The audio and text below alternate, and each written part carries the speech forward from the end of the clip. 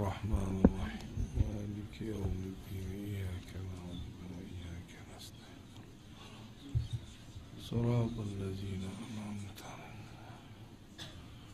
بسم الله الرحمن الرحيم. الحمد لله رب العالمين وصلى الله وسلم على سيدنا محمد النبي الأمي صاحب جوامع الكلم.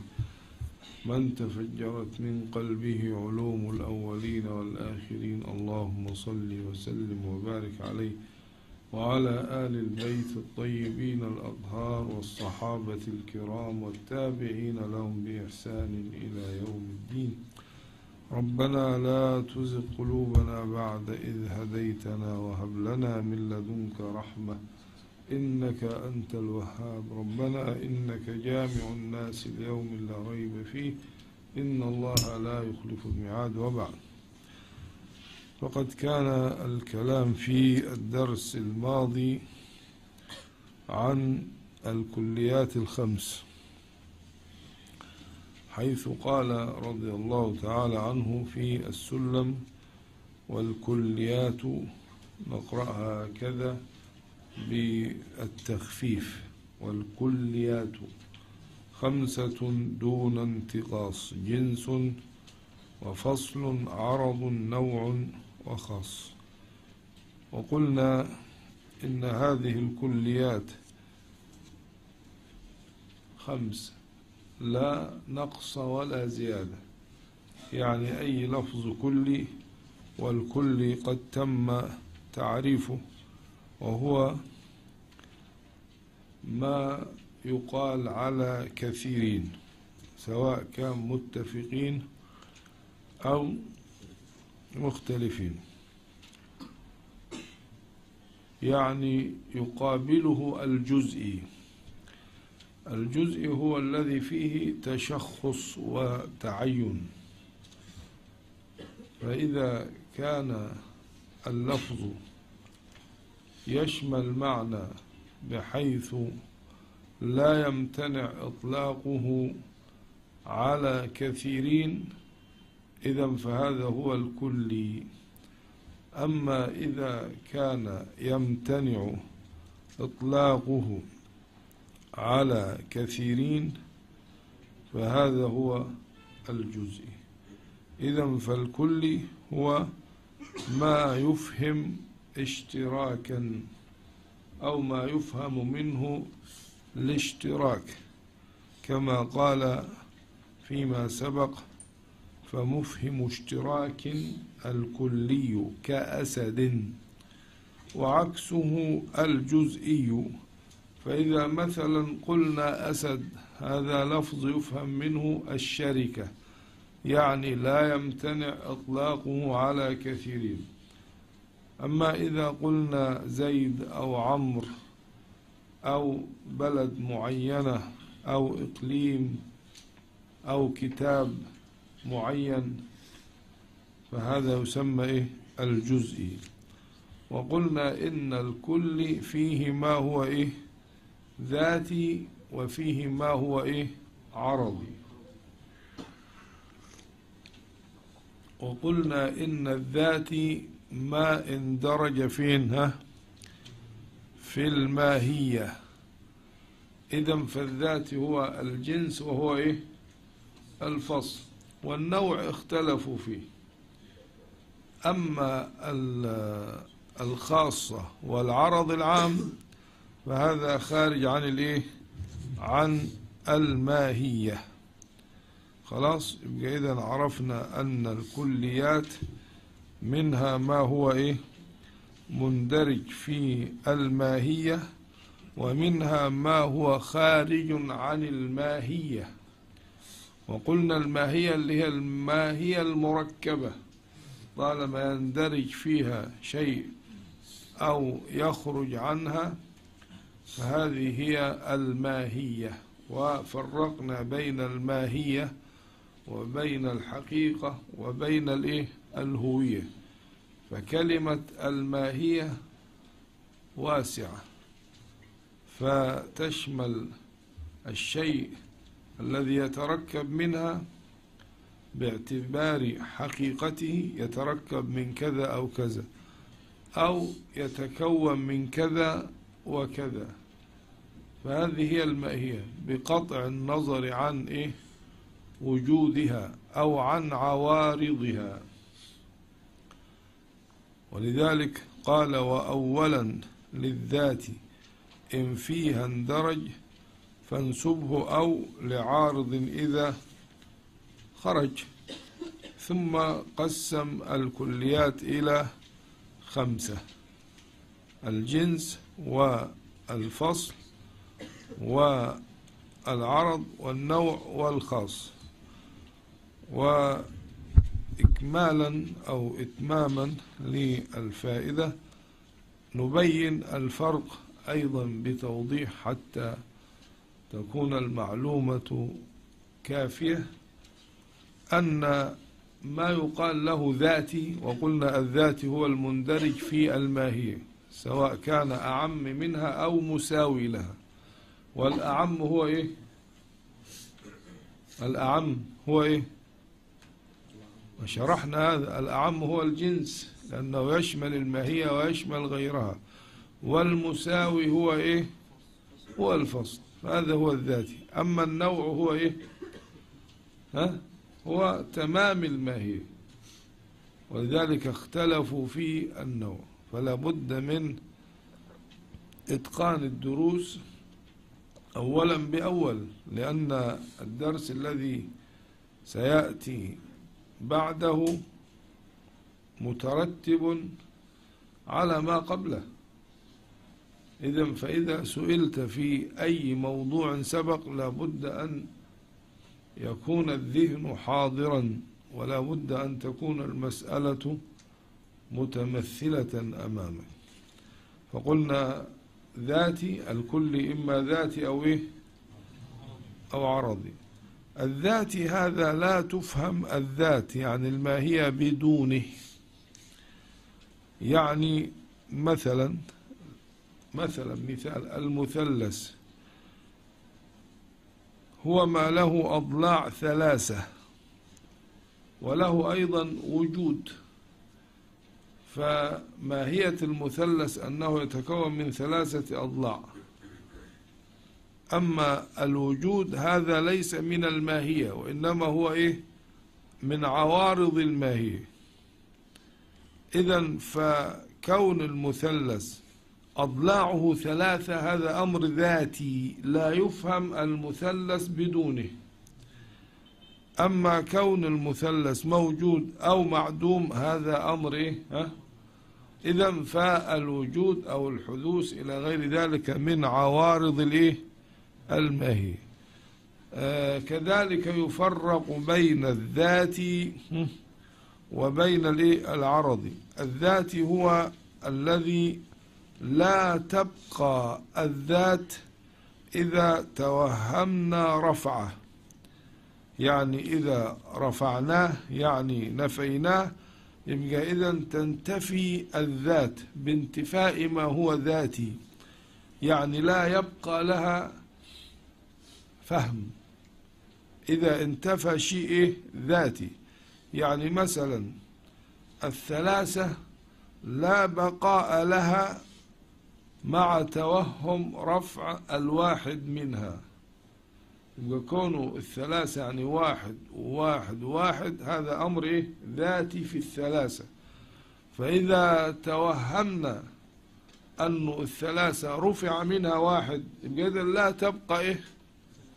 أين هي الثلاثة؟ أين ذهبت؟ يعني حقيقة الثلاثة أو إيه؟ ماهية الثلاثة انتفت. إذا توهمنا أنه حيرفع منها إيه؟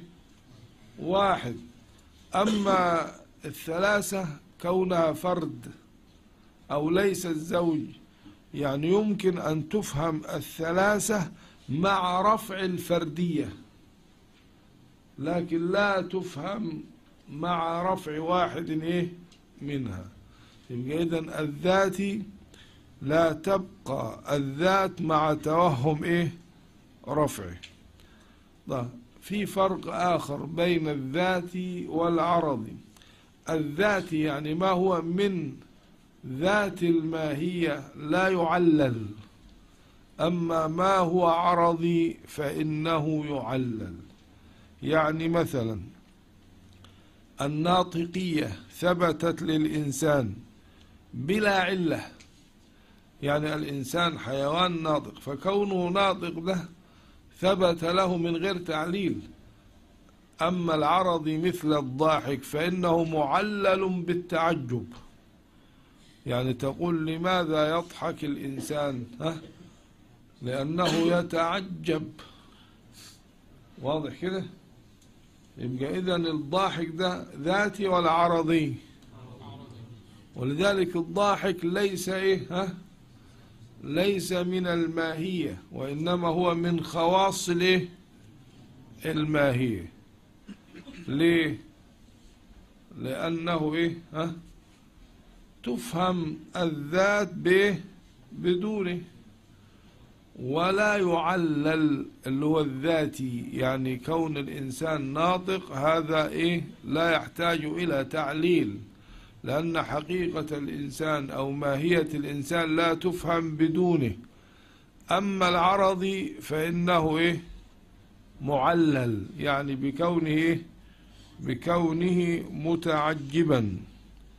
يبقى إذن الضاحك ده أو الضاحك من خواص إيه؟ ها؟ من خواص الإنسان.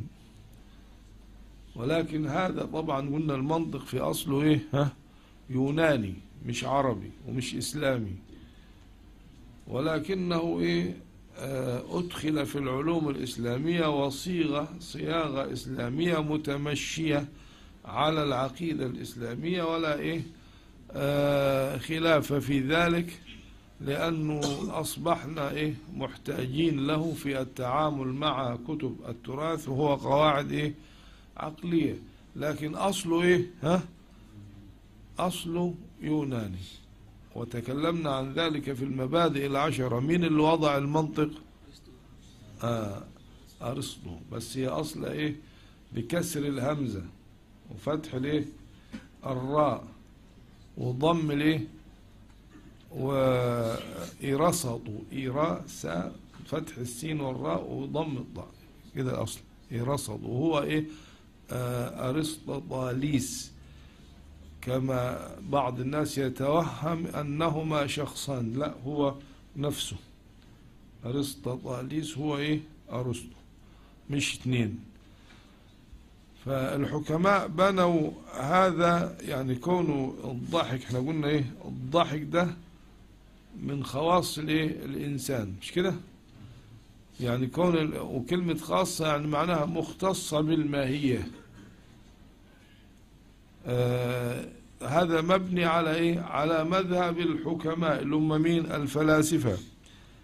آه من إنه هذا إيه؟ تقتضيه طبيعة الإنسان. طب عند ال ال ال الحكماء أو الفلاسفة الملائكة مثلا والجن طبعا عندهم الجن أو الملائكة ليست ليست اجساما إنما هي إيه بيسموها المجردات يعني زي العقول العشرة. يثبتونها ولا يقولون إيه؟ بأنها أجسام. فيقولون إنه طبيعة طبيعة الملائكة أو طبيعة الجن لا يتأتى منها التعجب. إذا فالضحك من خواص مين؟ الإنسان. طب في مثلا بالنسبة ل يعني مثلا هم لماذا يقولون إنه الضحك؟ لما مثلا في آثار عندنا أو أحاديث إنه الملائكة مثلا يضحك الملك أو حتى في إسناد الضحك بس هذا يكون على سبيل المجاز إلى الله سبحانه وتعالى. الضحك مش معناه إنه القهقه المقصود بالضحك يعني التعجب. يعني لا يضحك الإنسان إلا عندما إيه؟ يتعجب. أصله كده. فإذا طبيعة الملائكة والجن لا تقتضي الضحك يعني لا يتأتى منهم الضحك. كما والدليل عندهم إنه لا يتأتى منه البكاء. يعني وأنه أضحك وإيه؟ وأبكى. فمين اللي بيبكي ويضحك؟ الإنسان. يبقى ده من إيه؟ من خواص الإيه؟ الإنسان. طيب وقوع الضحك أو البكاء من إيه؟ آه، من الملائكة كما ورد في بعض الآثار.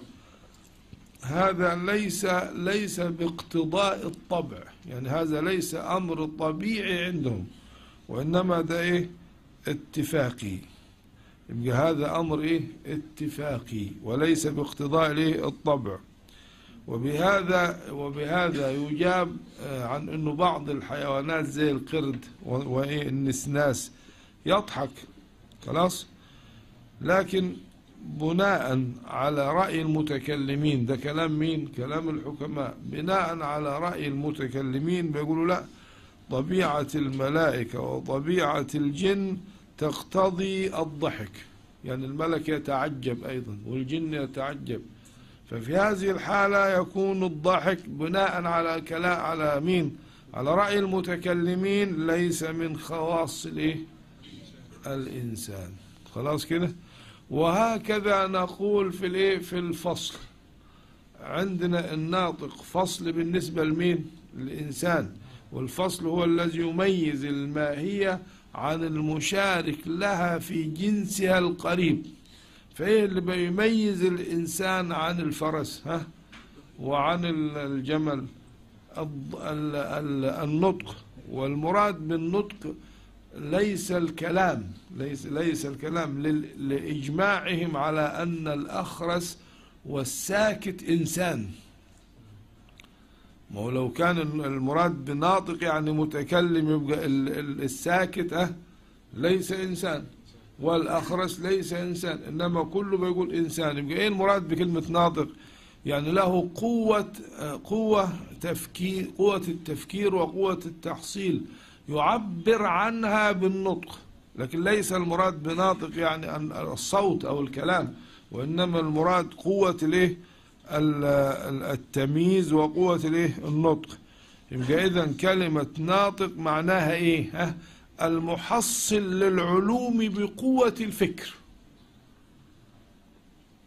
طيب يبقى كده إذا إذا قلنا كده ها؟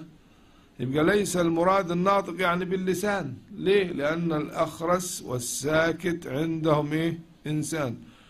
إذا فما ما المراد بالناطق؟ ها؟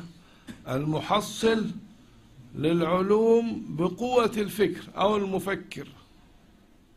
هذا هو الناطق.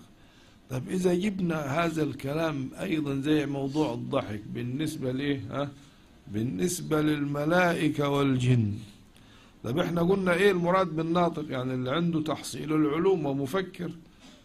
طب إيه المراد بحيوان؟ يعني الكائن الحي اللي هو إيه؟ حي.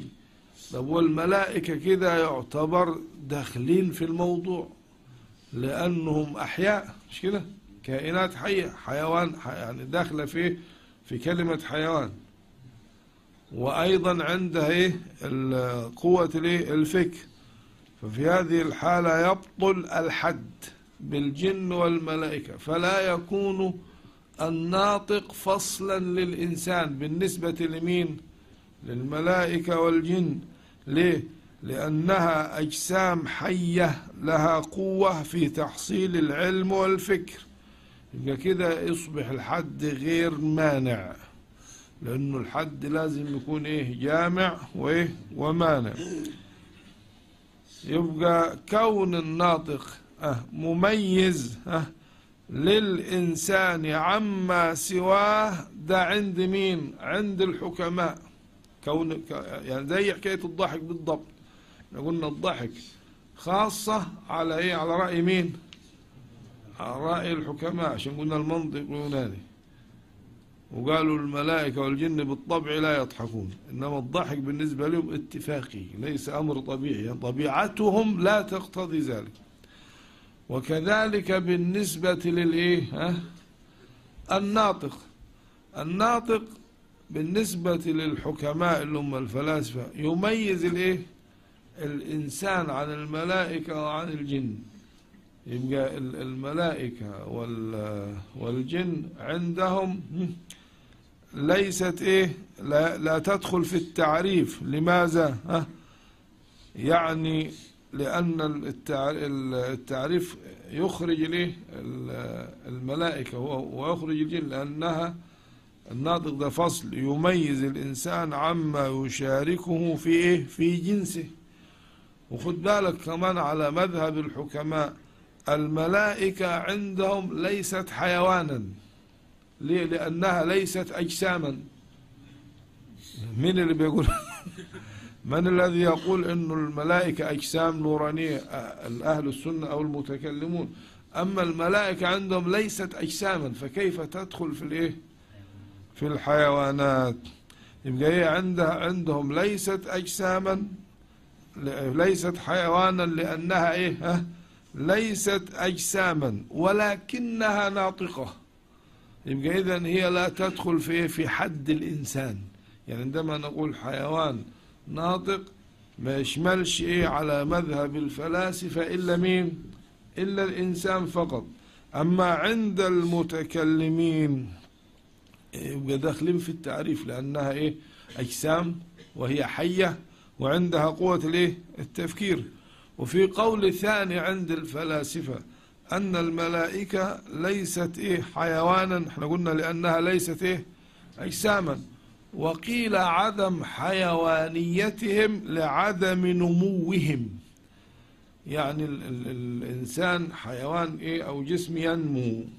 يعني يبقى طفل إنما الملك ما عندوش المراحل الطفولة والجن كذلك دفع اتخلق مرة واحدة كده فلا ينمو كما ينمو الايه الإنسان.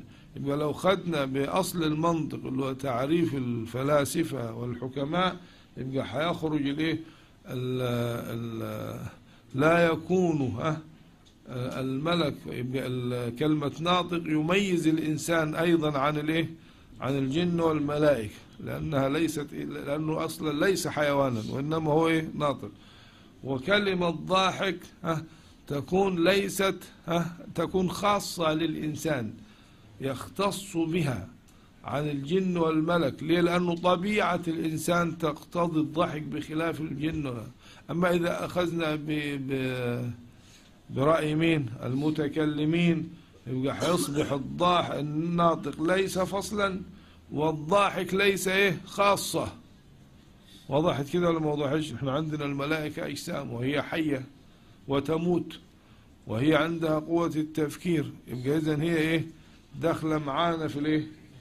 في التعريف. ولكن كلام مين اللي يمشي؟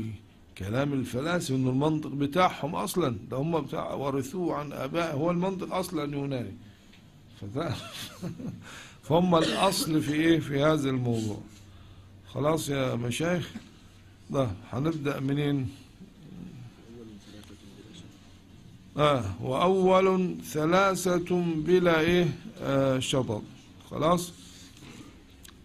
يبقى فهمنا الآن الفرق فهمنا الفرق بين ال ال بين الذاتي والعرضي ده فروق مهمة. خلوا بالكم من إيه؟ منها. وأول ثلاثة بلا شطط. جنس قريب أو بعيد أو إيه؟ أو وسط. يبقى الآن حيتكلم في إيه؟ آه في أول حاجة في الكليات الخمس هو إيه؟ ها أول حاجة الجنس. الجنس حينقسم إلى كم قسم؟ إلى ثلاثة. ما هي؟ كام؟ جنس قريب وجنس أه لا ترتبها كده بس هو ترتيبه هنا على على النظم. تكون جنس قريب جنس متوسط جنس بعيد. خلاص؟ يبقى هكذا يكون الترتيب. يبقى أول حاجة الجنس. خلاص؟ يبقى الجنس ده من الذاتي ذاتي ولا ولا عرضي ها؟ ذاتي. المشترك الصادق على كثيرين مختلفين بالحقيقة كالحيوان. لأنه مشترك بين الإنسان والفرس والطير. وخذ عندنا كده عشان لما تيجي ترتب عندنا دلوقتي جنس وحيأتي الكلام بعد كده على النوع. فعندما نرتب الأجناس ها نرتبها كده ترتيبا تصاعديا. أما إذا أردنا ترتيب الأنواع هيبقى ترتيب إيه ها ترتيب تنازلي. يعني أول ما ترتب في الأجناس تذهب إلى فوق. إذا أردت الترتيب فين؟ في الأنواع يبقى إيه تنزل تحت. يبقى ترتيب الأجناس ترتيب إيه؟ ها؟ ترتيب تصاعدي. أما ترتيب الأنواع ترتيب إيه؟ تنازلي. يعني إذا فرضنا شيئا فرضنا أي شيء وفرضنا له جنس. يعني حديك مثال نفترض مثلا شيء زي الحديد ها؟ يبقى جنسه إيه؟ جنس الحديد إيه؟ ما هو جنسه؟ ها؟ جنس الحديد إيه؟ نبات؟ معدن. يبقى المعدن ده فوقه. خلاص كده؟ يبقى أما إذا خد أي أي شيء نفترض أن له جنس وله أنواع. طيب نيجي مثلا الحديد ها؟ جنسه إيه؟ معدن يبقى فوقه. طيب بعد نتكلم على أنواع الحديد. حديد صلب حديد إيه؟ زهر حديد إيه؟ مطاوع. مش كده أنواع الحديد؟ دي تبقى تحته. يبقى الحديد نقوله حديد صلب حديد مطاوع حديد زهر يبقى دي تحته. أما الجنس يكون فين؟ فوقه. أديك مثال مثلا بالإنسان. الإنسان جنسه إيه؟ حيوان. وهكذا كل جنس حتى لو كان في جنس للجنس فيكون فوقه أيضا. يعني مثلا جنس الجنس يعني مثلا ال ال الإنسان جنسه حيوان. تمام؟ لا جنس الحيوان ده إيه؟ جسم. بس جسم إيه؟ نامي. بعد كده جنس الجسم النامي جسم مطلق. جنس الجسم المطلق جوهر فهاك نرتفع. يبقى كده يعتبر الجوهر ده أعلى إيه؟ ها؟ أعلى الأجناس. أو بيسموه جنس الأجناس أو الجنس البعيد. آخر حاجة اللي هو القريب جدا اللي هو تحته أنواع يسمى إيه؟ النوع. خلاص كده؟ اللي هو الإنسان. طب يبقى اذا نيجي تحت الإنسان. يعني مثلا تحت كلمة إيه؟ حيوان إنسان اللي هو النوع. فلما نيجي تحت النوع هتبقى إيه؟ مثلا إنسان مصري إنسان مثلا صيني إنسان يابان دي أنواع دي. إنما اللي فوق كده يسمى إيه؟ جنس. خلاص كده؟ يبقى إذا افترضنا شيئا وفرضنا له جنسا فإنه يكون إيه؟ ها؟ يكون إيه؟ فوقه. وإذا افترضنا له نوع فيكون إيه؟ تحته. إذا فترتيب الأجناس ترتيب تصاعدي ويسمى أعلى حاجة فيها جنس الأجناس. يعني إيه جنس الأجناس؟ يعني آخر حاجة في الإيه؟ في الأجناس. خلاص كده؟ فهمنا؟ طيب هنيجي نمثل ليك مثلا للأجناس والأنواع. غير طبعا ما هو متردد المثال اللي إحنا بنسمعه كثيرا آه إنسان وجنس حيوان والحيوان جسم نامي والجسم النامي فوق الجسم المطلق والجسم المطلق فوق الايه الجوهر وهكذا. تمام؟ يعني نجي نجيب مثال غير كده نجيب جنس.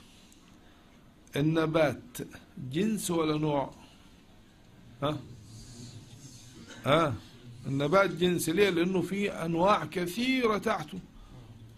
يبقى النبات جنس تحته تحته شوف كده أجيب لك كم نوع تحت النبات؟ قمح ذرة أرز بلح قطن زهر. كله ده إيه؟ داخل في جنس واحد اللي هو إيه؟ النبات. أي شيء ينبت من الأرض يسمى نبات. بل في نباتات لا نعرفها. يبقى اذا القمح والذرة والأرز والبلح والقطن كله ده تحت إيه؟ تحت نبات. يبقى الجنس فوق ولا تحت؟ ها؟ الجنس فوق. طيب نيجي تحت القمح.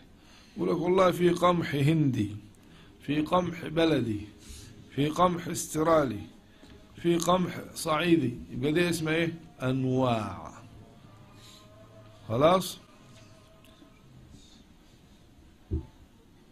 خلاص يبقى اذا إيه ال ال الجنس ها تحته إيه أنواع. ما هو نوع واحد. يعني الق... يعني شوف القمح ده هندي بلدي استرالي كله اسمه إيه قمح. يبقى هذا نوع واحد. فتقسيم النوع يبقى تقسيم الجنس بينقسم إلى إيه أنواع. طب والنوع ينقسم إلى أصناف أو أفراد. يعني زي الإنسان نوع. ده مصري ده اسيوي ده افريقي ده امريكي ده كذا. كله ده إيه؟ أفراد أو أصناف للإنسان لأنه هو نوع واحد.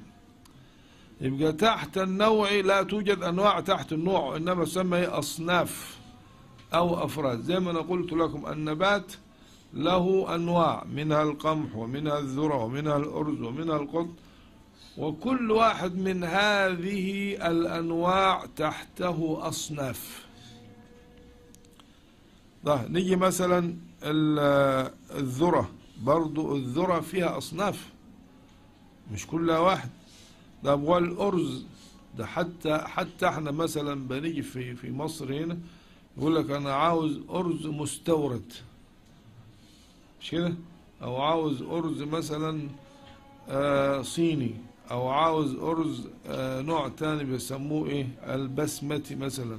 ده نوع آه، اسمه ده؟ صنف ده مش نوع لأنه هو كله إيه؟ أرز. ده والبلح أيضا. في برضه أصناف فيه العجوة فيه البلح اليابس فيه بلح المدينة بلح الشام بلح اليمن. دي كلها إيه؟ أصناف والنوع واحد. خلاص؟ والقطن أيضا في قطن ياباني ويعني حتى ال- البقول البقول في الجزر وفي اللفت وفي يبقى ال- القمح ده القمح ده زي الإنسان بالظبط نوع حقيقي خلاص كده؟ ليه؟ لأنه تحته أصناف وفوقه إيه؟ ها؟ وفوقه الأجناس. طيب يبقى الج... ال- ال- الجنس الذي هو فوق النوع مباشرة يبقى ده اسمه الجنس القريب. واللي فوقه بدرجة يبقى ده جنس متوسط أو بدرجتين أو بثلاثة إنما له فوق خالص هذا هو الجنس؟ البعيد. يبقى الجنس كم أقسامه؟ ثلاثة. قريب يعني فوق النوع مباشرة ومتوسط يعني إما فوقه بدرجة أو بدرجتين. وبعد كده النهاية خالص الجنس ليه؟ واضح ولا مش واضح؟ نعم وقس على ذلك المثال الذي إيه؟ آه ذكرته لك. طيب. طيب يبقى إذن الإنسان نوع ولا جنس؟ نوع. ال- الحيوان بالنسبة للإنسان طيب كون الإنسان ذكر أو أنثى ها؟ هذه أصناف. لا هو النوع الإنسان نوع واحد. أما ذكر أنثى ده إيه؟ صنفه. يعني ينقسم نوع إلى إيه؟ إلى أصناف. لأنه حقيقة الذكر والأنثى هو حيوان ناطق. إذن هو ده النوع. ما يختلفش من ذكر أما دي إيه؟ أصناف. كونه شامي كونه عراقي كونه مسلم كونه مس كل هذه إيه أصناف وليست إيه؟ وليست أنواعا. طيب يبقى نقول كمان قاعدة عشان تفهموها. أقسام الشيء. آه، افهم دي جيدا. أقس يعني الشيء قلنا ليه أقسام؟ زي ما إحنا قسمنا النبات. وأيضا الإنسان له أقسام ذكر وأنثى يهودي. مش كده؟ يبقى خد بالك من القاعدة دي دي مهمة جدا. الشيء أق... أقسام الشيء إن كانت مختلفة الحقائق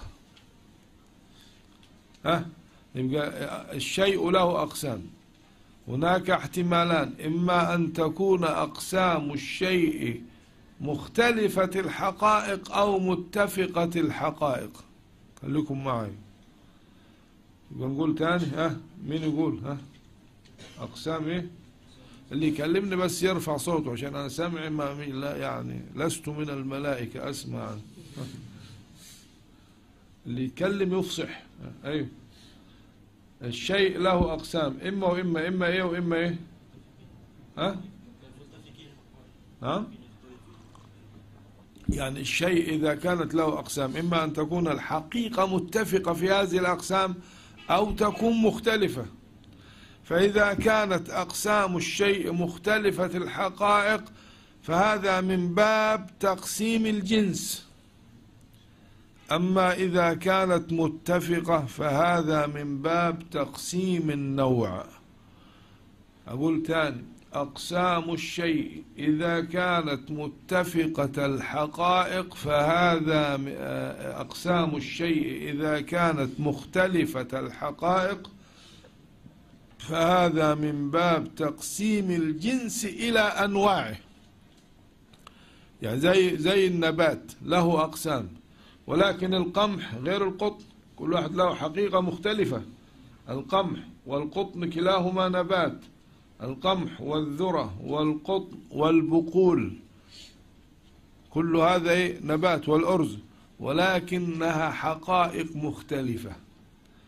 إذا فيقسم هذا باختلاف الحقائق إلى إيه؟ إلى أنواع. إذا فالشيء إذا كانت له أقسام وكانت هذه الأقسام مختلفة الحقائق فيكون التقسيم من باب تقسيم الجنس إلى أنواعه زي مثلا المعادن أو المعدن. حقيقة المعدن واحدة مش كده؟ المعدن واحد. ولكن كل معدن له حقيقة مختلفة كل معدن. ولكن الحديد هل الحديد حقيقة الحديد زي الذهب وزي النحاس؟ وإلا لكان الحديد في الثمن مساويا للذهب. يبقى هنا عندنا حديد ونحاس. ومعادن كثيرة وذهب وفضة. فهذه مختلفة الحقائق ولكن كلها هي تحت جنس واحد وهو المعدن. إذا فالمعدن انقسم إلى أنواع مختلفة. يبقى الشيء إذا كانت آه له آه الشيء إذا كانت له حقائق مختلفة فهذا من باب تقسيم الجنس إلى أنواعه. أما إذا كانت متفقة فهذا من باب تقسيم النوع إلى أصنافه. فمثلا الإنسان ذكر وأنثى دول صنفان ولكن الحقيقة واحدة هذا إنسان وهذا إيه؟ إنسان. فلو حجب برضو حسألك سؤال لو قسمت الحب إلى قمح وشعير يبقى ده من باب إيه؟ ها؟ الحبوب قسمناها إلى إلى إيه؟ قمح وشعير. هذا من باب تقسيم الجنس إلى أنواعه. ولكن لو قسمنا القمح إلى قمح مثلا هندي وقمح مصري وقمح سوري هذا من باب تقسيم النوع إلى إيه؟ إلى أصنافه. واضح السؤال الموضوع؟ طيب يلا كده معايا إلى من القارئ؟ وأول بسم الله الرحمن الرحيم. الحمد لله رب العالمين والصلاة والسلام على أشرف المرسلين وعلى آله وصحبه أجمعين. المصنف والشارح رحمهم الله تعالى ونفعنا بعلومهما وعلومكم في الدارين. آمين.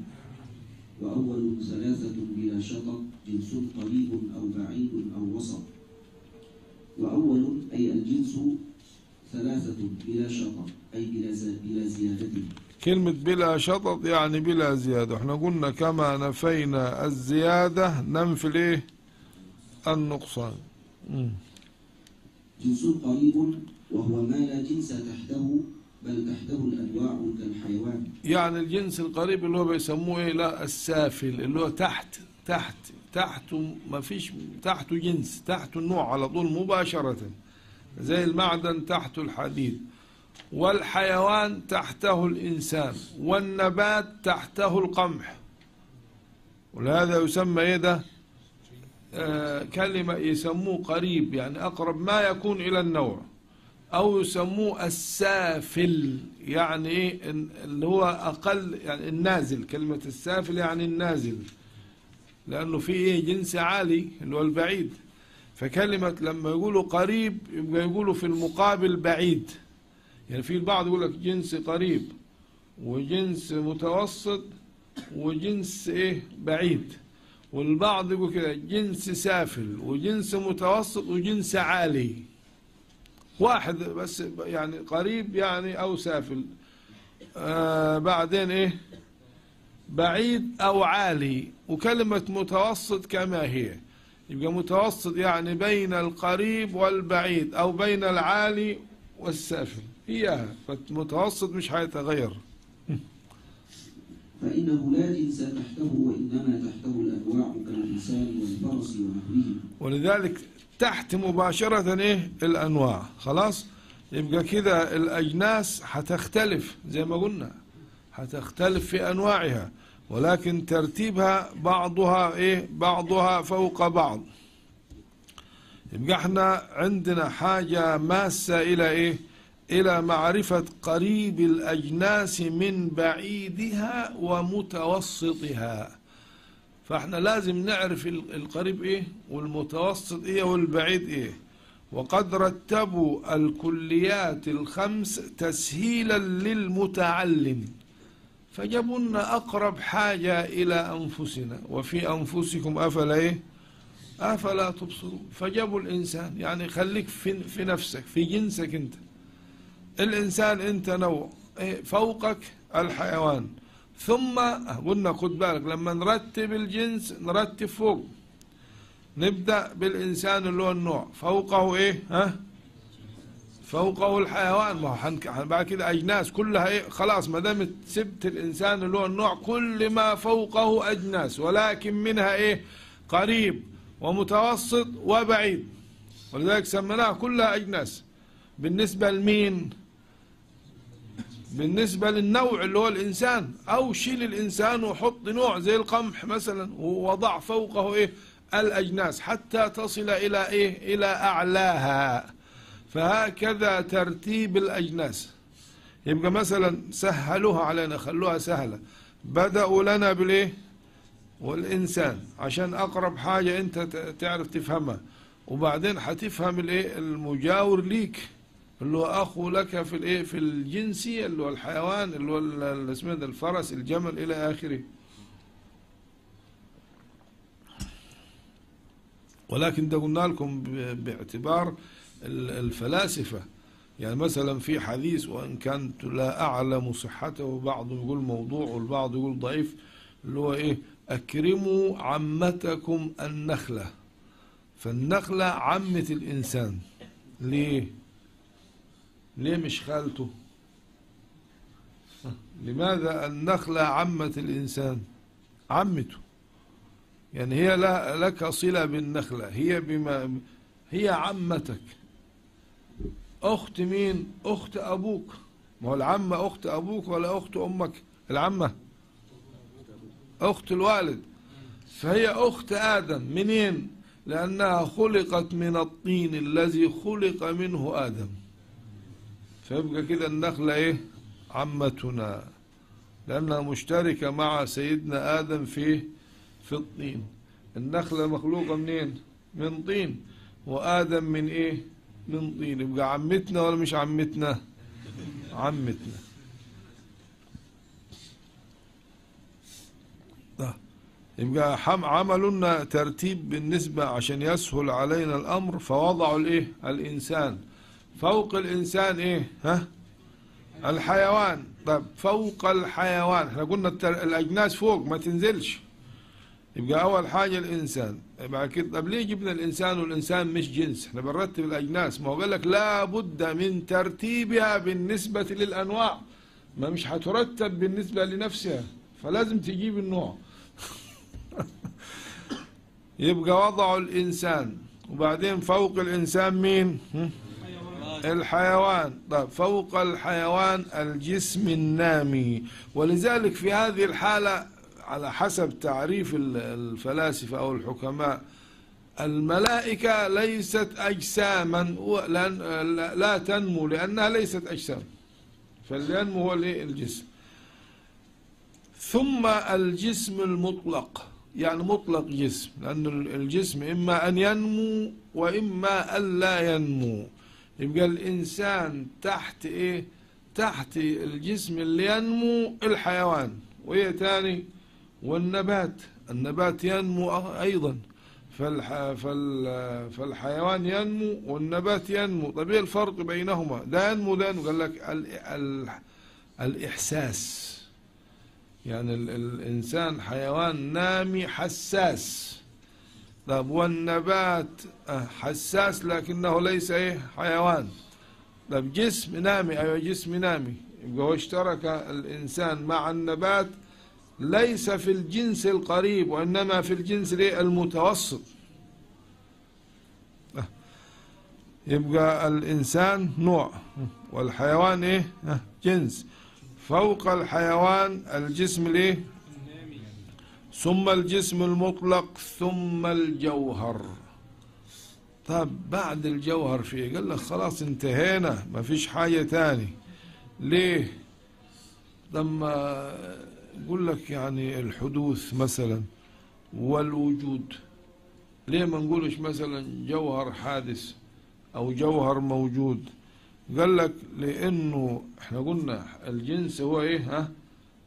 كلي ذاتي ولا عرضي لأنه داخل فين؟ في الماهية. أما الوجود والإمكان والحدوث هذا ليس من لوازم الماهية فليس ذاتي. ولكنه من الإيه؟ ها؟ من العوارض. لأن الماهية الماهية تتعقل تمام كده؟ ثم يقال هل هي موجودة أو لا؟ أنت تفهم المثلث. ثم تقول هل هو موجود أو لا. فنفهم الماهية عن حقيقة الأشياء ثم نقول لها وجود أو ليس لها وجود أو هي هي وجودية أو هي عدمية زي شريك الباري. نفهم ماهيته ماهية الشريك عن المشارك ولكنه غير إيه؟ غير موجود. إذا فالوجود ليس من الذاتيات وكذلك الحدوث يبقى إذا الحدوث من لوازم الماهية. خلاص؟ والوجود من لوازم الماهية. أما الذاتي اللي هو إيه؟ الجنس ده داخل في الماهية. ومثل هذا يقال في الموجود والشيء والممكن. لأنه كل هذا إيه؟ من لوازم الإيه؟ الوجود. خلاص؟ بل هو عين الإيه؟ الوجود والممكن يستوي فيه الطرفان الموجود وغير الإيه؟ وغير الموجود. يبقى إذا الماهية تعتبر من حيث إنها ماهية لا بقيد وجودها ولا عدمها. خد بالك. ولأجل هذا من لم يكن داخل في الماهية ها؟ يبقى إيه؟ يبقى إيه؟ يبقى عرضي مش ذاتي. يبقى إحنا بنرتب الأجناس باعتبار الماهية باعتبار ذاتية الشيء. وليس باعتبار ما هو عارض. إذا فالوجود والماهية أو الحدوث والماهية أو الإمكان والماهية غيران غيران. فلا يكون الوجود أو الإمكان أو الشيئية أو الحدوث جنسا. ليه؟ لأنه ليس داخل وإنه هو إيه؟ عارض خارج. يبقى إذا لا يكون جنس الماهية إلا هو إلا إذا كان داخلا فيها. خلاص كده؟ طب بقي حاجة واحدة. واجب الوجود. واجب الوجود. سبحانه وتعالى. يستحيل يستحيل. ها خد بالك. أن يكون له جنس. يبقى يبقى الماهية اللي هي الماهية المركبة. مش كده؟ فيستحيل قلنا الإنسان له جنس اللي هو الحيوان مش كده؟ وله فصل اللي هو إيه؟ الناطق.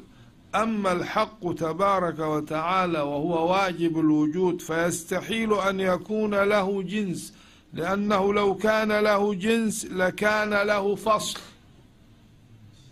شوف الإنسان له جنس وله إيه؟ فصل. فلو كان لله تعالى جنس لكان له إيه؟ ولو كان له فصل لكان مركبا من الجنس والفصل والتركيب في حقه تعالى محال. إذا فالكلام ده في الإيه؟ في إيه؟ في ماهية الإيه؟ ها؟ خلاص كده؟ ولذلك في الإمام الغزالي برضه له كلام في المنطق وله كتب بل الغزالي بيقول المنطق ده جعله واجب كمان مش يعني قال من, لا من لم يتعلم المنطق فلا يوثق بعلمه وسماه معيار العلوم. فالإمام الغزالي قال كلمة مهمة في الجنس بالذات. قال كل ما تتصور الحقيقة بدونه فليس من الأجناس. يعني لو فهمت الحقيقة من غيره هذا ليس من الأجناس. زي ما قلنا لك موضوع المثلث. تمام كده؟ هل يمكن تتصور المثلث بدون الضلع الثالث؟ هل يمكن؟ يبقى كده الضلع الثالث من المثلث ده إيه؟ داخل في حقيقته. ولكن لو قيل لك تصور المثلث بدون الوجود لا أمكنك. إذا فيكون الوجود خارجا عن الأجناس. وكذلك؟ الحدوث.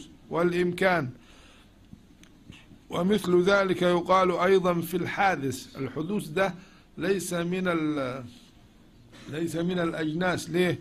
لأنه من توابع؟ الوجود والوجود نفسه ليس جنس الحدوث هو إيه؟ الوجود بعد عدم فإذا كان الوجود نفسه ليس جنسا كيف يكون التابع له إيه؟ جنس إذا فأعلى الأجناس هو إيه؟ هو الجوهر لا جنس فوقه ليه؟ لماذا الجوهر هو أعلى الأجناس؟ لأنه أصل المركبات لأنه حتى في اللغة اللغة اليونانية ال- الجوهر في اللغة الأصل بخلاف اللغة العربية اللغة العربية الجوهر يعني يعني الشيء النفيس يعني لما يقول لك آه، آه، فلان جوهرة يعني شيء إيه؟ له نفاسة. إنما بحسب الاستعمال الجوهر ده هو أصل هو الأصل وهو أصل المركبات. يبقى إذا الجوهر هو أصل المركبات. ولذلك امتنع إطلاقه على الله تعالى لأن الله تعالى ليس في ذاته تركيب. فأول ما تسمع كلمة جوهر يعني معناها إيه؟ أعلى الإيه؟ أعلى الأجناس. يبقى أعلى الأجناس. آخرها فليس فوق الج... واحد يقول لك لماذا لم يذكروا ما فوق الجوهر؟ إيه، بحسب المدركات اللي هي في الذهن. يعني أول شيء يجي في ذهنك كده آه مثلا إيه؟ واجب. وممكن ومستحيل. مش كده الأقسام الحكم العقلي الثلاثة؟ ممكن وواجب وإيه طب لا دخل لنا؟ بواجب الوجود لأنه لا تركيب والمستحيل لأنه لا, وج... لا حقيقة له منفي. يبقى إذا حنتكلم في في الممكن. هجيبها لك من فوق ح- هعكس المنطق عشان تفهمها نجيبها من من أعلى. أعلى حاجة أعلى حاجة بالنسبة للإيه؟ لل- للمدركات الذهنية الممكن. ما نحط الشيء تحت الواجب ما فيش تركيب. فالممكن ينقسم إلى إيه؟ تحته إيه؟ نع- نعتبر كده اعتبارا هو مش حقيقة. نعتبر أن الممكن ده أعلى جنس الإمكان. فيبقى ينقسم الممكن إلى موجود ومعدوم. فيكون الوجود والعدم من أنواع الممكن. فيكون الممكن ده جنس ده افتراض عشان بس نقرب الفهم. طيب خل... يبقى قسمنا الممكن إلى إيه؟ إلى أنواع. جعلناه جنس قسمناه إلى إيه؟ إلى موجود ومعدوم. طب المعدوم لا نضع له معدوم كيف نقسمه؟ فحنقسم مين؟ الموجود. حنقسمه إلى جوهر وإيه؟ وعرض. ثم نأتي تحت الجوهر بإيه؟ جسم. وبعد الجسم جسم نامي وبعد وهكذا حتى ننزل إلى إيه؟ إلى آخر حاجة اللي هو الإيه؟ الحيوان. خلاص كده؟ يبقى إذا أعلى حاجة زي ما قلنا الجوهر ما- لا يوجد أعلى منها لأنه هو اللي داخل في إيه؟ في المركبات. هو هو أصل المركبات. لأنه الجوهر إما أن يكون مركب وإما أن يكون غير مركب. وال- والمركب هو إيه؟ ما تركب من جوهرين من فردين جوهرين فردين. لأنه الجوهر اللي هو غير مركب يسمونه الجوهر الفرد. أو الجزء الذي لا يتجزأ. يبقى إذا جميع الإيه الأجرام أو الأجسام مركبة من الإيه من الجوهر. كل الإيه الأجسام. بس الأجسام الإيه الحادثة. إذا فينقسم الجوهر إلى جسم وإلى غير جسم. ما هو الجسم؟ هو المركب. وغير الجسم هو الجوهر الايه الفرد. ثم ينقسم الجسم إلى آه نامي وغير نامي. ثم ينقسم النامي إلى حيوان وغير حيوان ثم ينقسم الحيوان إلى إنسان وفرس وغزال وغراب إلى آخره. وضحت المعلومة ولا تحتاج إلى تفصيل أكثر؟ واضح؟ طيب يلا محمد. أو جنس بعيد وهو ما لا جنس فوقه. آه يبقى كلمة كلمة بعيد يعني عالي أو إيه أو أو جنس الأجناس ما لا جنس فوقه. وتحته الأجناس كالجوهر. جنس- إيه معنى وتحته الأجناس؟ يعني الأجناس المتوسطة إلى أن نصل إلى الجنس القريب أو الجنس السافل. أو جنس الوسط أي متوسط وهو ما فوقه وتحته جنس كالجسم فإن فوق فإن فوقه الجوهر وتحته الحيوان. يبقى فهمنا الآن الجنس البعيد اللي هو أعلى الأجناس أو إيه؟ أو يسمونه جنس الإيه الأجناس. بعد كده نشرح إيه؟ المتوسط. ما إحنا ماشيين بالترتيب. النظم هنا جاب يعني ال الوسط في الآخر. إنما هو الأصل يكون إيه؟ بينهما. بس عش... لأجل إيه؟ لأجل ضرورة النظم. فلا إشكال. آه إنما أنت لما تكتب في الامتحان أو تشرح لازم ترتبها كده. آه الأجناس. قريب متوسط بعيد. وقلنا ترتيب الأجناس يكون إيه؟ تصاعدي وترتيب الأنواع إيه؟ تنازلي.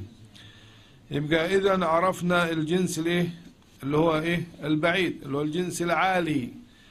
المتوسط ما هو تعريفه؟ أظن يعني من من من من من العبارة نفهم ما معنى المتوسط. المتوسط هو ما فوقه جنس وتحته جنس يعني توسط بين جنسين. والمثال بالنسبة للإنسان نقول مثلا إيه جسم نامي. هذا جنس متوسط لأنه تحته جنس اللي هو حيوان وفوقه جنس اللي هو جسم مطلق. يبقى ما توسط بين جنسين يعني قبله جنس وبعده جنس يسمى إيه؟ متوسط. خلاص؟ فيكون جنسا لما تحته ونوعا لما فوقه. افهم دي يعني هو هو كلمة جنس مش لا يسمى جنس كده على الإطلاق. يعني هو جنس بالنسبة إحنا قلنا ترتيب الأجناس تصاعدي وليس تنازلي. يعني مثلا ال- الحيوان ده جنس بالنسبة للإنسان إنما بالنسبة لما فوقه هو جنس أيضا بالنسبة لما فوقه نوع. بس مش نوع حقيقي نوع إضافي.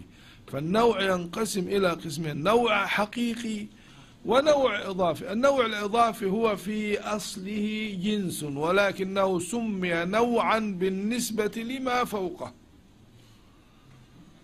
يعني باعتبار اللي فوق الحيوان إيه؟ جسم نامي وإيه تاني؟ وجسم مطلق. فهو أحد أنواع الإيه؟ ال- الجسم النامي لأن الجسم النامي حيوان وغير إيه؟ وغير حيوان فهو نوع بالنسبة لما فوقه ولكنه سمى نوع إيه؟ ها؟ إضافي وليس نوعا حقيقي. ما هو النوع الحقيقي؟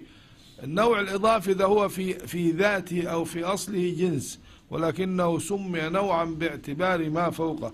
أما النوع الحقيقي اللي بيسموه نوع الأنواع اللي هو إيه؟ ليس تحته إيه؟ آه نوع وفوقه الجنس. هو ده النوع الحقيقي زي الإنسان. فالإنسان نوع حقيقي. أما الحيوان جنس حقيقي ونوع إيه؟ إضافي. يبقى الجنس المتوسط قول قولوا تعريفه كده. تعريف الجنس المتوسط إيه؟ آه وما أنا بس بسألهم آه. إيه تعريف الجنس المتوسط. نعم.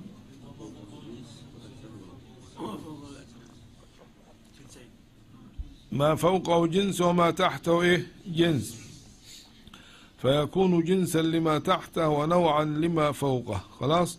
وهذا كالجسم الإيه؟ النامي. طيب يلا كده يا شيخ محمد. نعم. في إيه تاني؟ ها؟ السامع يقول إيه؟ طيب آه في كده إيه؟ آه إحنا آه الآن لسه الكليات الخمس آه شرحت شرحا كافيا شرح عارفين الفصل؟ ولا لسه عندكم آه شيء؟ طيب إحنا شرحنا ال- الجنس خلاص؟ طيب بعدين الفصل هو جزء الماهية الصادق عليها في جواب أي شيء هو. يعني ال- الفصل ده بيسموه مقوم مقوم أو مميز. إيه معنى مقوم أو مميز؟ يقول لك فصل مقوم. نعم؟ يا أخي ده المميز ده المقوم؟ ما معنى مقوم؟ يعني الماهية لا تقوم إلا به. الناطقية والحيوانية الإنسان. يبقى إذا ده فصل. يعني إيه؟ مقوم للماهية أما مميز ما هو نفسه مميز ومقوم. مميز يعني يميز الماهية عن المشارك لها في جنسها القريب. فالناطق بالنسبة للإنسان ميزه عن الفرس مثلا أو عن الجمل أو عن الحمار إلى غير ذلك. طيب، بالنسبة للخاصة؟ قلنا الخاصة اللي هو إيه؟ ال- الكلي خلاص ال- الخارج. عن الماهية ولكنه مختص بها زي الضاحك بالنسبة للإنسان. وقلنا بالنسبة للفلاسفة جعلوه خاصة ليه؟ قالوا لأنه آه، الطبيعة الطبيعة اللي يتأتى منها التعجب هو الإنسان. أما غير الإنسان لا يتعجب. عن طبيعته لا يعني يعني مثلا لو قلت شيء غريب كده أو نكتة أو شيء يعني حصل يضحك الإنسان يعني يعني يبين إعجابه أو يبين تعجبه أو استغرابه. زي مثلا واحد يقول كلام غير مفهوم فأنت تضحك. لماذا تضحك؟ يعني تتعجب. فقالوا هذا يقتضيه يقتضيه طبيعة الإيه؟ الإنسان. أما أما بالنسبة آه، لأهل السنة أو المتكلمين. وردت آثار بإسناد الضحك إلى الإيه؟ إلى إلى الملائكة. ده ما فيش مشكلة بالنسبة للملائكة والجن لكن يقول لك طبيعتهم لا يتأتى منها الضحك. طيب إذا ما بماذا نرد نقول إيه؟ بالنسبة لمذهبنا نقول هذا أمر اتفاقي ولا تقتضيه الطبيعة. أما إذا قلنا بأن طبيعتهم يتأتى منها ذلك فلا يكون الضحك خاصة للإنسان لأنه دخل فيه إيه؟ غيره. وكذلك بالنسبة للناطق كما فصلنا منذ إيه؟ منذ قليل. والعرض العام قلنا الكلي الخارج عن الماهية الصادق عليها وعلى غيرها كالماشي بالنسبة للإيه للإنسان. واضح؟ يعني ماشي متنفس شارب آكل نائم كله ده اسمه إيه؟ عرض عام. إيه معنى كلمة عام؟ يعني يعم الماهية الحقيقة ويدخل غيرها أما الذي يخصها يسمى إيه؟ آه يسمى خاصة. زي الضحك وزي الكتابة مثلا بالنسبة للإيه؟ للإنسان. والخاصة لها أقسام والعرض له أقسام وإن كان في الشرح. هنا لم تذكر لكن نقولها تتميما للفائدة. فأقسام الخاصة إيه؟ خاصة شاملة وخاصة إيه؟ مفارقة. خلاص؟ آه، خاصة شام آه، شاملة لازمة وشاملة مفارقة وغير شاملة. يعني شاملة وغير شاملة. خلاص؟ وإذا كانت شاملة تنقسم إلى إيه؟ إلى قسمين. شاملة لازمة وشاملة إيه؟ ها؟ مفارقة. وفي بعد كده غير الشاملة. فغير الشاملة لا تنقسم. يعني مثلا ما هي ال- ال- الخاصة اللي هي غير شاملة؟ إيه معنى غير شاملة؟ يعني توجد في بعض يعني مثلا بالنسبة للضحك ده يوجد في كل إنسان سواء كان بالفعل أو بالقوة لا يوجد إنسان ليس فيه هذه الخاصة حتى لو لم يضحك أبدا. لكنه يمكن أن يضحك أو لا فيسمى ضاحك بالقوة. أما الكتابة يعني الإنسان من خصائصه الكتابة يكتب الحروف وينطق بها إنما لا يكتب الجمل ولا يكتب الحمار. فتكون الخاصة الكتابة خاصة للإنسان ولكنها غير شاملة. ليه؟ لأنه كثير من الناس لا يكتبون. معظم العالم أميون. ولكنهم ناس ولا مش ناس؟ يبقى هنا الكتابة خاصة ليست خاصة ولكنها غير إيه؟ طيب نأتي في في الخاصة الشاملة. في شاملة لازمة. يعني إيه لازمة؟ لا تنفك اللي هي الضحك بالقوة. وفي شاملة غير لازمة اللي هي مفارقة اللي هي إيه؟ الضحك بالفعل. يعني الإنسان يقهقه أو يضحك بالفعل هذه خاصة ولكنها إيه؟ خاصة مفارقة لأنه لا يظل الإنسان ضاحكا كده بينام بيصلي. إنما كونه ضاحك بالقوة هذه لازمة له. إذا فالخاصة تنقسم إلى قسمين. خاصة شاملة وخاصة غير شاملة. أما الشاملة فتنقسم إلى قسمين. لازمة وإيه؟ ومفارقة. وجبنا الأمثال. كذلك بالنسبة للعرض العام. ينقسم إلى عرض عام لازم وعرض عام مفارق. إيه اللازم؟ المتنفس بالقوة. يعني كون الإنسان متنفس هذا أمر لازم سواء تنفس بالفعل أو لم يتنفس. لكنه إيه؟ متنفس. هذا اسمه إيه؟ أه؟ زي ما نقوله إيه؟ كل كاتب متحرك الأصابع. مش كده كل واحد أي واحد بيكتب كيف يكتب وأصابعه لا تتحرك؟ هل يمكن؟ فيبقى هذه خاصة إيه؟ ها؟ خاصة دي؟ لازمة. بس بقيد. كل كاتب متحرك الأصابع ما دام كاتبا. إنما ممكن يكون كاتب وغير متحرك الأصابع وكاتب بالقوة لا بالفعل. لكنه يوصف بأنه كاتب أو لا. آه يبقى كده. يبقى متى يكون متحرك الأصابع؟ عند الكتابة. يبقى تحريك الأصابع ده ممكن يكون إيه؟ آه مفارق لأنه غير إيه؟ غير لازم إلا في وقت الكتابة. يبقى العرض العام زي المتنفس بالقوة والعرض العام اللي هو المفارق زي إيه؟ زي المتنفس بالفعل.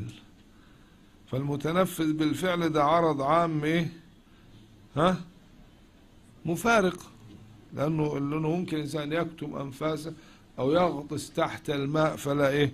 فلا يتنفس اذا فهذه أقسام الايه لا بقي في شيء في الأقسام برضو الفصل ينقسم إلى قسمين. يبقى الجنس ينقسم إلى كم ثلاثة. عرفناهم؟ قريب ومتوسط وبعيد. والخاصة إلى كم قسم؟ ثلاثة. خاصة شاملة غير شاملة والشاملة تنقسم إلى قسمين. ممكن تقول إلى قسمين. والعرض العام ينقسم إلى قسمين. لازم وإيه؟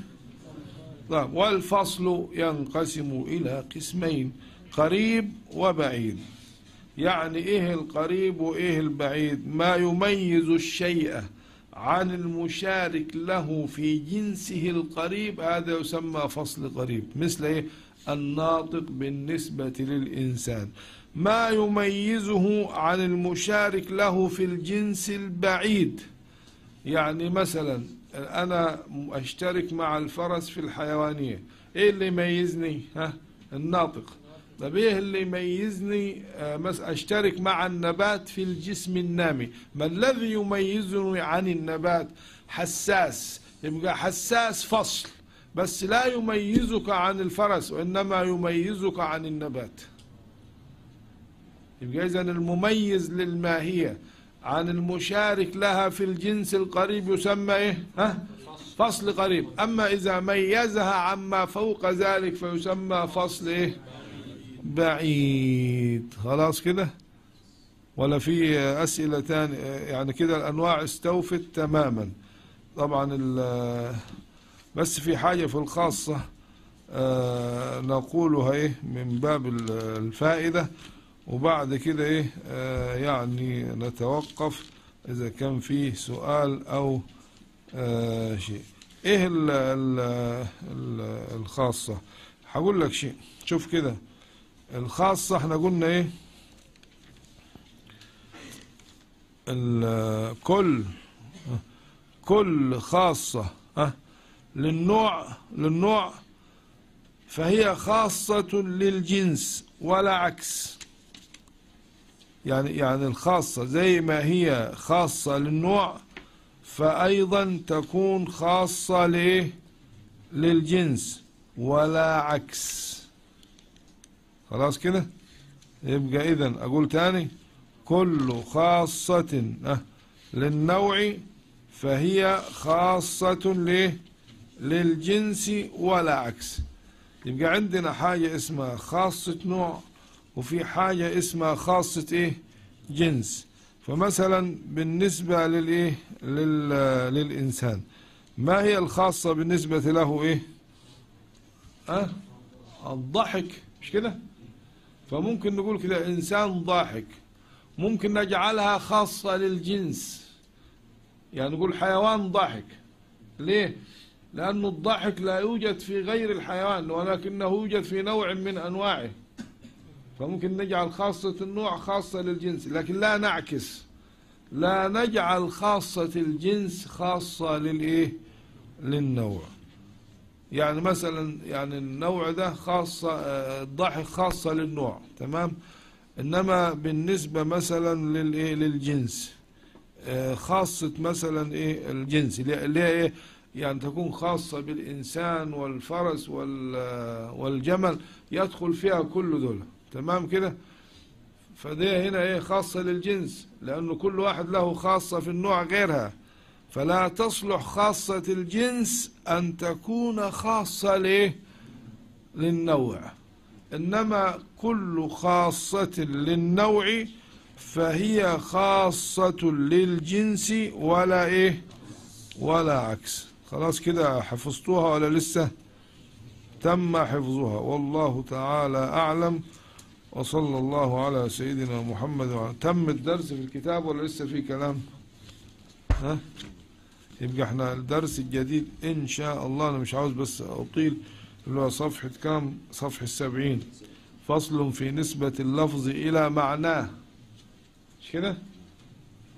ولو لو ده ده كلام تاني مختلف تماما. فلو دخلنا فيه وبعدين المنطق مش عاوز كسرة عاوز تركيز. يعني الزيادة الجرعة الزائدة تقتل. زي ال هذا؟ الكتاب الجنس ما لا جنس فوقه ولا جنس تحته يعني هو الشيخ لم يذكره. يعني هو الجنس إحنا قلنا الجنس بحسب الجمهور تمام أهل السنة عشان هم صاغوا المنطق وإحنا قلنا المنطق يوناني. فمشايخنا الشيخ القويسني والشيخ الأخضري ما ذكروش الايه القسم الرابع. هو في في البعض ذكر إيه؟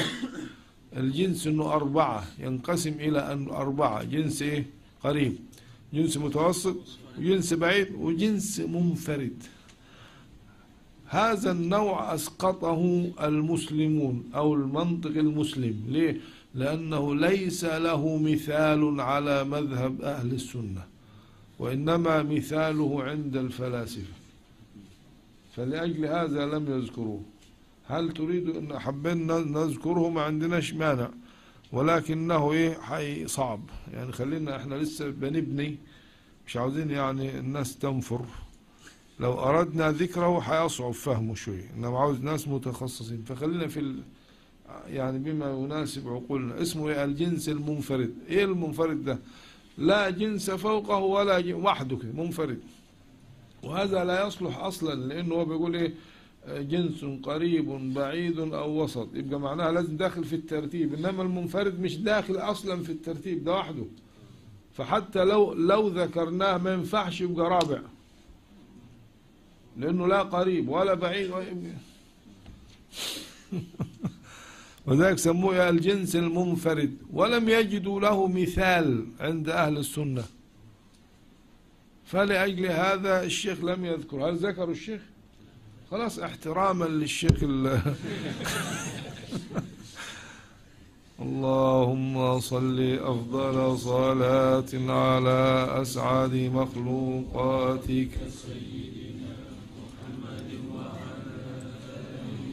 وصحبه وسلم. لكلماتك كلما ذكرك الذاكرون وغفل عن ذكره الغافلون. اللهم نوقاتك سيدنا محمد وعلى آله وصحبه وسلم. ماتك ومداد كلماتك كلما ذكرك الذاكرون وغفل عن ذكر الغافلون. اللهم صل